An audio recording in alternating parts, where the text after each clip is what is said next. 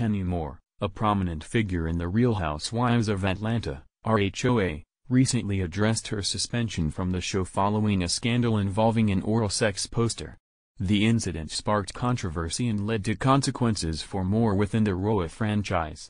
The controversy began when Moore, during a Roa reunion episode, displayed a poster that implied sexual acts involving a fellow cast member. The poster's graphic nature and implications caused a stir among viewers and cast members, leading to swift action from the show's producers.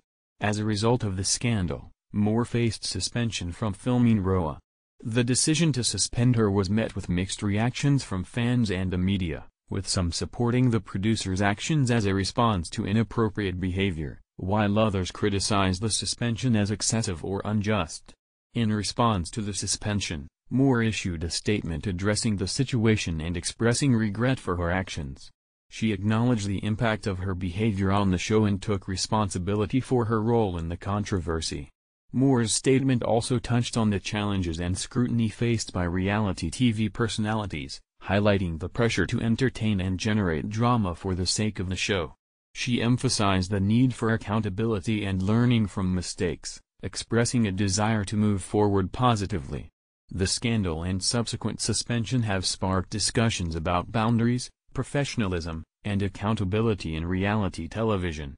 It has also raised questions about the role of producers and networks in managing controversies and maintaining the integrity of their shows. As Moore navigates the fallout from the scandal and works towards rebuilding her reputation within the Roa franchise, the incident serves as a cautionary tale about the potential consequences of controversial behavior in the public eye.